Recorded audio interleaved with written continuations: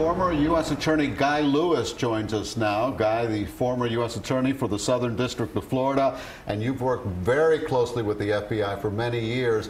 What's your reaction when you hear that they got these two tips, one in September of last year and the second one on January 5th, from somebody who knew Nikolas Cruz, and it wasn't even sent to the FBI office in Miami? It's almost inexplicable, uh, Elliot.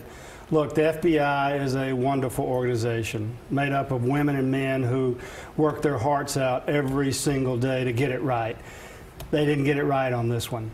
Clearly, uh, a ball was dropped, and I'm anxious to hear from Director Wray, from Christopher Wray, about how it happened, what happened, and, and really he needs to rectify the situation immediately. Well, Governor Scott is calling for him to resign. I mean, do you think that, that it's enough to just get to the bottom of it and figure out what happened? Do you think he should be, uh, you know, listening to these calls to resign? No, I don't. I don't think he should be sacked. I, I, I think uh, Chris did exactly the right thing by coming out and being very transparent about it. Ruta Bay.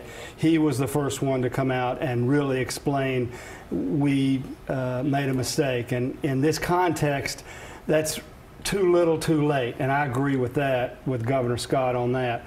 But uh, in terms of, of, uh, uh, of resigning or being fired, uh, look, the, the, reality is it's a um, it, it's an assistant. It's not even a special agent who's on the phone who's taking these, uh, analyzing them, and it should have come down to Miami. No question about that. Just crushing news for those families uh, that are already dealing with so much. I want to ask you about uh, another development that, a development that we learned today, Guy, which is that the public defenders who are representing the shooter in this case say that they uh, are not going to contest the charges. They admit that he was behind the act.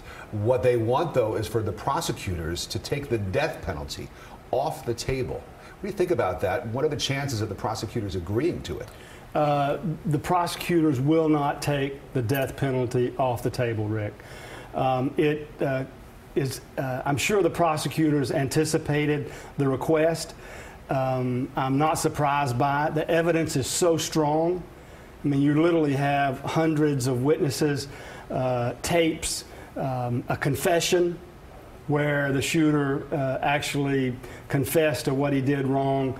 Um, I'm not sure what defense the young man has except for uh, psychological and uh, mental well, issues. we've been hearing from the attorneys. They've talked about his difficult life. They've talked about having lost his mom. They've talked about a number of things, almost as though they're, they're getting mitigating factors in a sentencing hearing where they're already trying to get their, their client off, uh, off the hook. You're exactly right, Rick. And, the, and really the distinction is, is they're not trying, I mean, forget about not guilty. Forget about not being charged.